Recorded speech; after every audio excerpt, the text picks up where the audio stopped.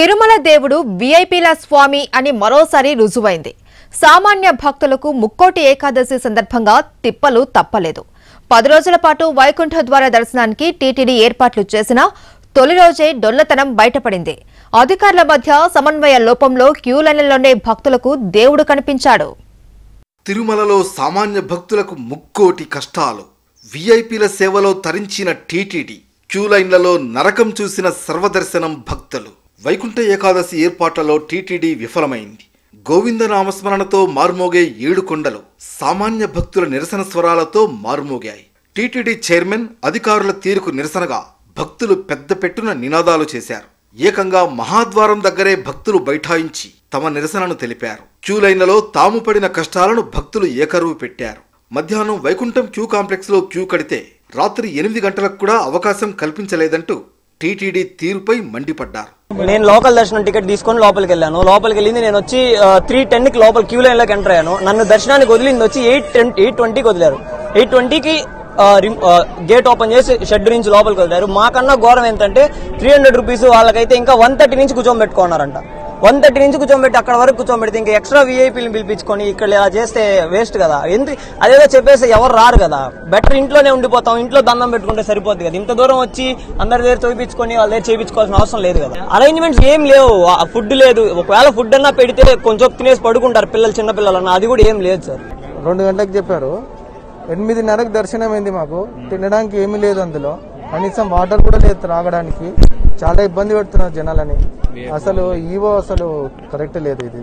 ముక్కోటి ఏకాదశిని భక్తులు పవిత్రంగా భావిస్తారు. వైకుంఠ ద్వారం ద్వారా తిరుమలేసుని దర్శించుకోవాలని పెద్ద సంఖ్యలో భక్తులు తిరుమల వచ్చారు. కరోనా కారణంగా ముందుగానే ఆన్లైన్లోనే టికెట్లు కేటాయించిన టీటీడీ సామాన్య భక్తులకు చుక్కలు చూపింది. మధ్యాహ్నం రెండు గంటల నుంచి కంపార్ట్మెంట్లలో వేచి ఉన్న భక్తులను సాయంత్రం ఆరు గంటలకు కూడా దర్శనానికి అనుమతించలేదు. కనీసం మంచినీరు అల్పాహారం పాలు కూడా అందుబాటులో ఉంచలేదు. దీంతో భక్తుల్లో ఆగ్రహం కట్టలు తెంచుకుంది. వృద్ధులు చిన్నపిల్లలు షుగర్ వ్యాధితో బాధపడేవారు. ఆకలితో తీవ్ర ఇబ్బందులకు గురయ్యారు. ధనుర్మాస పూజలు వైకుంఠ ఏకాదశి కైంకర్యాలు పూర్తయిన తర్వాత తెల్లవారుజామున ఒంటి గంట పదిహేను నిమిషాల నుంచి వైకుంఠ ద్వార దర్శనాలను ప్రారంభించారు. ఉదయం ఏడున్నర వరకు వివిఐపీలు విఐపీలనే దర్శనానికి అనుమతించారు. ఉదయం ఎనిమిది గంటల నుంచి సామాన్య భక్తులకు అవకాశం కల్పించారు. వైకుంఠ ద్వార దర్శనం రోజు ఏటా లక్ష మంది భక్తులకు శ్రీవారి దర్శనం కల్పిస్తారు. కానీ ఈ ఏడాది ఏకాదశి తొలి రోజు నలభై ఐదు వేల మందికి టికెట్లు జారీ చేశారు. అయినా భక్తులకు ఇబ్బందులు తప్పలేదు. సిఫారసు లేఖలు ఉన్న వారిని సుపదం నుంచి అనుమతించిన టీటీడీ మూడు వందల రూపాయల టికెట్ కొనుగోలు చేసిన వారిని ఉదయం నుంచి సాయంత్రం వరకు కంపార్ట్మెంట్లలోనే కూర్చోబెట్టింది. దీంతో భక్తులు ఆగ్రహంతో ఊగిపోయారు. స్వామి దర్శనం కోసం మహాద్వారం వద్దకు రాగానే టీటీడీ చైర్మన్ ఈవోల వైఖరికి నిరసనగా నినాదాలు చేశారు. ట్వెల్వ్ ఓ క్లాక్ మేము కళ్యాణం టికెట్లు ఉన్నాయండి. ఈ చిన్న చిన్న పిల్లల్ని వన్ ఇయర్ పిల్లల్ని పెట్టుకొని లైన్లో నిలబెడితే పాలు లేవు కనీసం తిండి లేదు లోపల వేసి రూమ్ రూమ్ వేసి లాక్లు పెట్టి లాక్లు వేస్తారు లాక్లు వేస్తారు తీసుకొని మీరు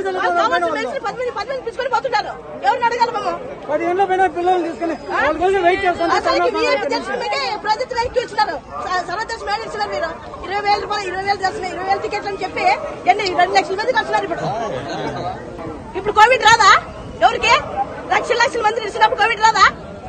ఎవరు పాటిస్తున్నారు అందరూ? ఎవరు పాటిస్తున్నారా? ఎవరు పాటించడం లేదు. పోలీసు వాళ్ళు పాటించడం లేదు. పోలీసు వాళ్ళు కూడా అంతే.